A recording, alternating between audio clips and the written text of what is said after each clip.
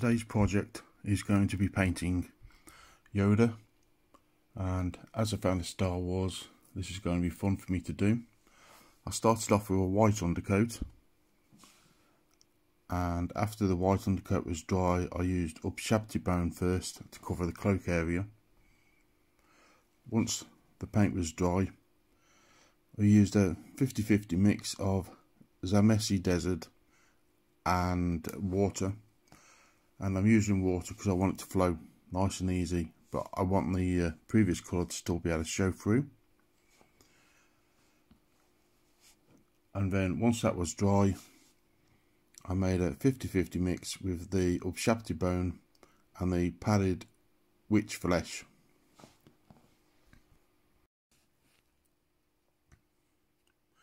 Next for the trousers I'm using an old Citadel miniature paint called Swamp Brown. Uh, the nearest colour I can think of to this with the newer paints would be Gorthor Brown. However, this this one is just a little bit lighter in colour, but they've both got a nice chocolatey look to the colour.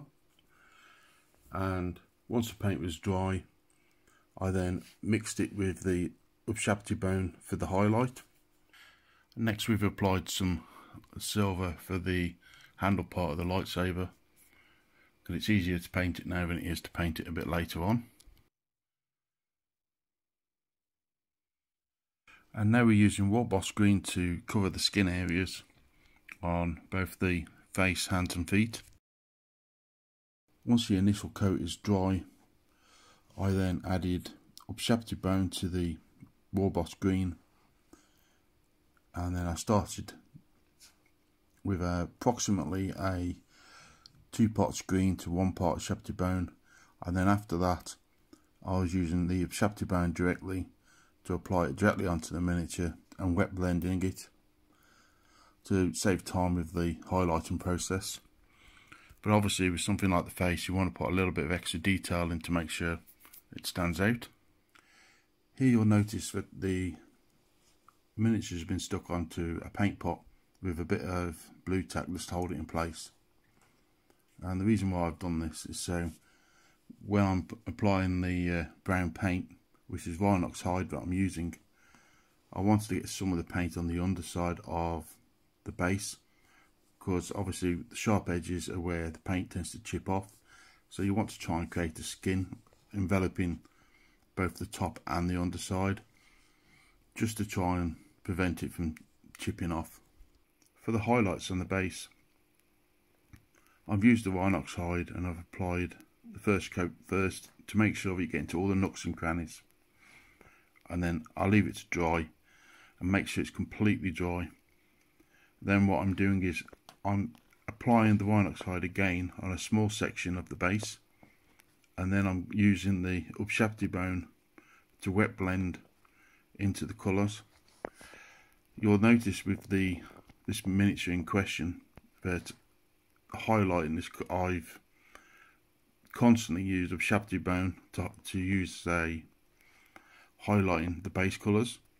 And the reason why I'm doing this is it helps to turn all those base colours in and neutralise the colours somewhat which with this miniature being a Jedi they tend to keep things pretty simple. So that helps to Moot green was applied to the blade of the lightsaber the claws were painted with Ushabti bone and then a final highlight for the claws with the Pallid Wych flesh and white scar was used for the eyes and then Abaddon black was applied for the pupils. The base however also had a couple of layers of water te texture the first coat I applied a small amount of Rhinox hide into the water effect and left it to dry and then built up layers of the water effect. To add a little bit of extra detail to the swamp area I applied some mixed herbs onto the area where the water effect was while the water effect is still wet and the best way to apply this is to dip your modelling knife into the water effect and then the moisture on the end of your knife will make the pieces of the mixed herbs stick to the knife. Once you apply it onto the water effect on your miniature it will then just come off quite easily. And this helps to give the impression that there's bit bits of things like for example leaves floating around in the water. Also if you're interested in it I've done a video in the past about doing swamp bases if you'd like to look at that. If you like the video remember to like share and click on the button on the lower right hand side to subscribe